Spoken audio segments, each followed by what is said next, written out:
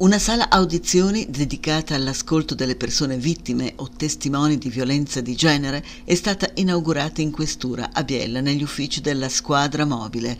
Presenti il questore Claudio Ciccimarra, il prefetto Franca Tancredi, il procuratore capo Teresa Angela Cameglio e il presidente di Soroptimist Italia Giovanna Guercio.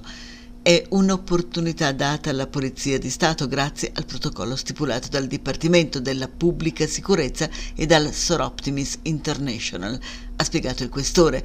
L'opera della Polizia di Stato per contrastare la violenza di genere in tutte le sue forme continuerà in un ambiente più familiare, caloroso ed accogliente. La Polizia di Stato è un partner essenziale nella realizzazione della prevenzione e contrasto al fenomeno, ha ricordato il procuratore Cameglio.